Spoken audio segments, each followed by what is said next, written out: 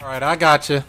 We'll we'll we'll act like that got some weight to it, even though I say throw the damn book at them. But that's good. All right. Yeah, and they just they charged a college student. They say here. Marlon says one over here on Periscope. BD says two. What, what's the two? That's a possible three. Tianka Monet says. Thanks for inviting your followers. Phenomenal one over here on Periscope. Of the United States of America. Yeah, great commentary, French guy. Uh, this is Leo again. Yeah, we, we spoke on this. Former President Obama didn't stay silent for long. He issued his first major statement since leaving office. These news, these politics, and these current events.